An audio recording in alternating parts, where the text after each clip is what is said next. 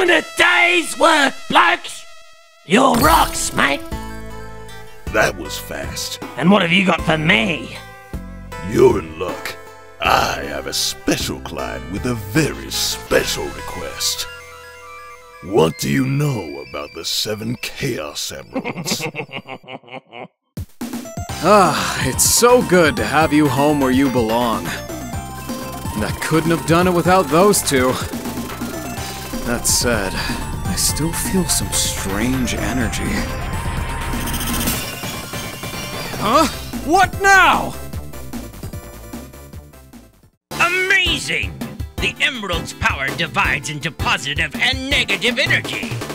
If my readings are correct, the negative energy pattern is duplicatable.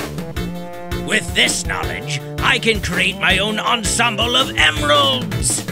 Harnessing the dark power of negative chaos energy, I could create dark emeralds. I need the seven Chaos Emeralds!